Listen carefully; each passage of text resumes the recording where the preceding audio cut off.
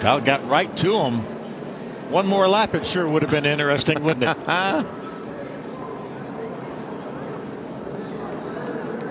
Just over one truck length. The final margin, two tenths of a second. It was right around a second with about eight laps to go.